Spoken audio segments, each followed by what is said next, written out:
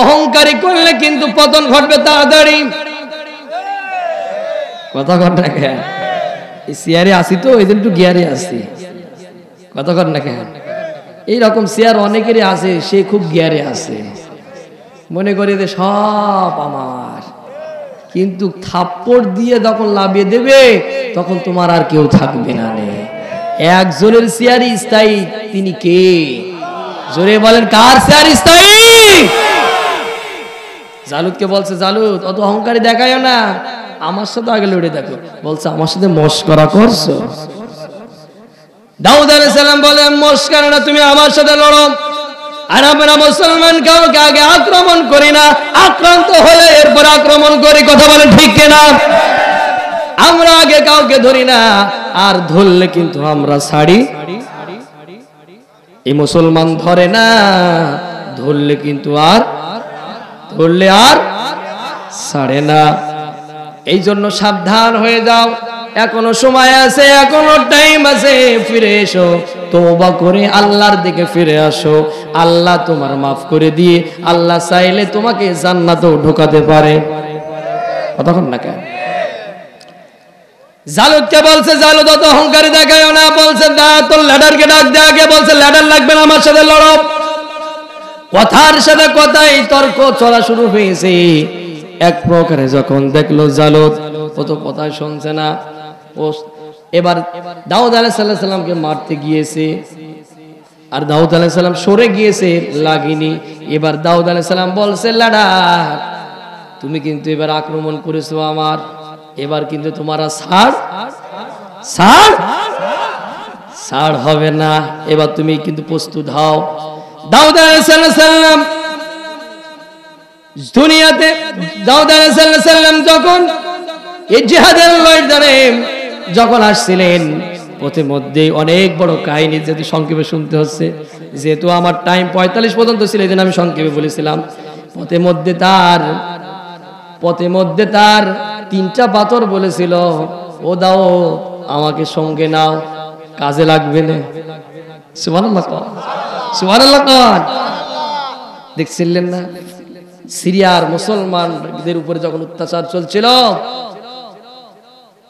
ওই মার্কিন সৈন্যরা যখন সিরিয়ার মুসলমানদের উপরে সোমালিয়া সেসনিয়া বসনিয়ার শিশুদের উপর অত্যাচার করছিল, সেই সময় এই শিশুগুলো পাথর মেরা মেরা নিক্ষেপ করে দুনিয়া থেকে ওই লাঞ্ছিত, বঞ্চিত, ওই নালাকদেরকে কীভাবে খতম করছিল? একবার কি আপনারা দুনিয়ার মানচিত্রে দেখতে পাননি?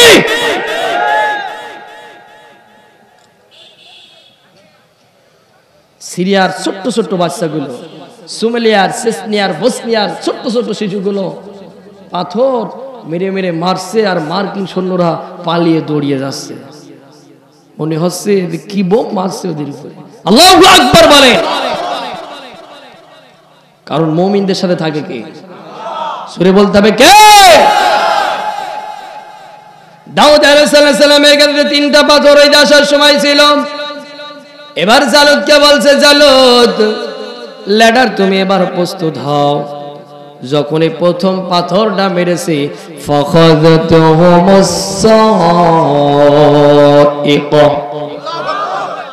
প্রথম পাথর মারার সাথে বিকট একটা আওয়াজ হয়েছে। আল্লাহ আকবর বলেন। প্রথম পাথর মারার সাথে সাথে বিকট আওয়াজ, এক হাত উড়ে গিয়েছে। আল্লাহ আকবর কইতে বলছেন সুরা বাকারা। সুরা বাকার আলাম্মা বারা সুলি জালু তা জুনুদিহি কলু আবরা কলু আবরাকনা আলাইনা সবরা সাব্বিত আকদামানা ওয়ানসুরনা আলাল কওমিল। এই আয়াতটা পড়ে দেখেন না ভাই। এই আয়াতের ব্যাখ্যা, এই আয়াতের শানে নজুল, এই আয়াতের যে প্রেক্ষাপট, একটু পড়ে দেখেন। বর্তমান সময়ের সাথে মিলেও যেতে পারে। কতক্ষণ লাগান জ্ঞানী তারা বোঝে তারা শুধু ইশারায়, অবুঝকে তারা বুঝাতে পারব না আমি ভাই।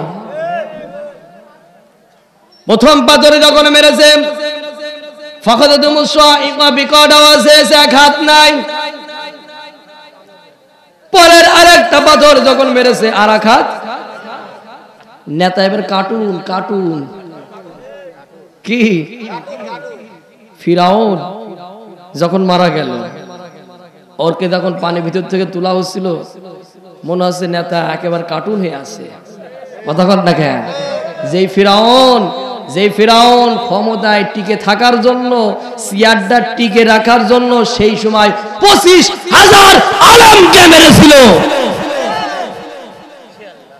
কত হাজার? কত হাজার?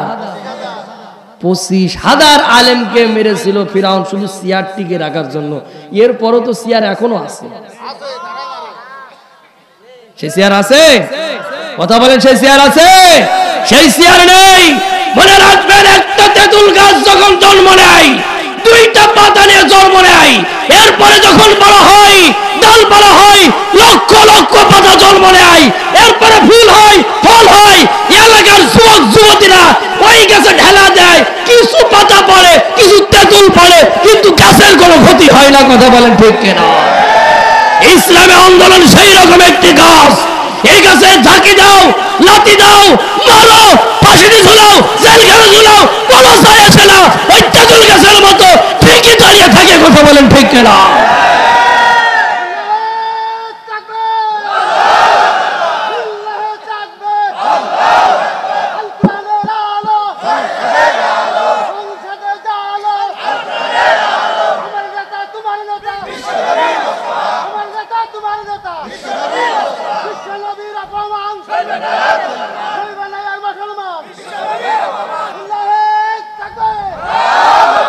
আল্লাহ কবুল করুন। জোরে কোন, আমিন। আরও জোরে বলেন, আমিন।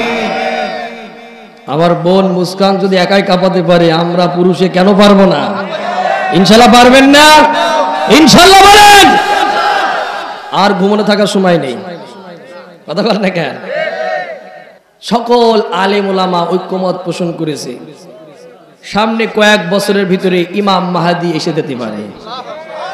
এটা খবর নিশ্চিত একমাত্র জানে কে? তারপরও তার আসার আগে যে নমুনাগুলো আছে, সেই নমুনাগুলো অধিকাংশ সব শেষ। এখন শুধু অপেক্ষা আসার পালা। কথা কর না কেন? এখন শুধু আসার পালা। সকল পৃথিবীর আলেম ওলামা ঐক্যমত পোষণ করেছে। খুব তাড়াতাড়ি ইমাম মাহাদি আসবে। ইমাম মাহাদি এসে কালো পতাকা নিয়ে সৈন্যরা তারা আওয়াজ দেবে সেইটাকে সারা দিনে কারা কারা প্রস্তুত